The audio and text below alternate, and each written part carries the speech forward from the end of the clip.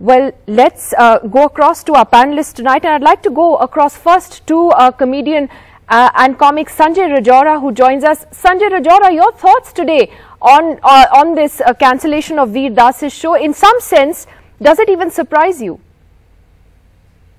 No, nothing that happens in India right now surprises me, and I think one word that describes this action is gundagardi. And I just wonder who are these people who are scared of uh, laughing. I mean, uh, I,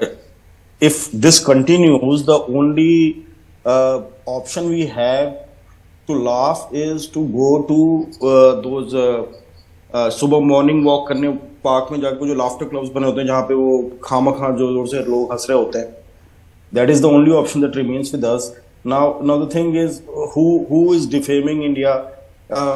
so India is, is a country where you are not allowed to laugh, make a joke, buy a ticket, or do uh, uh, you know have a nice nice time with friends or family. And I don't understand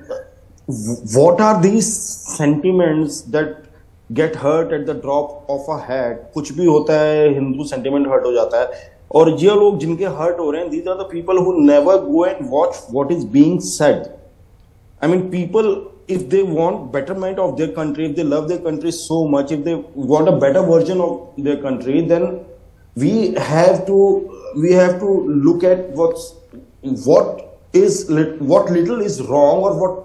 uh, क्या ठीक किया जा सकता है otherwise it blind blindly uh, how can how can you uh, just say that anything anybody if, if i criticize anything about my country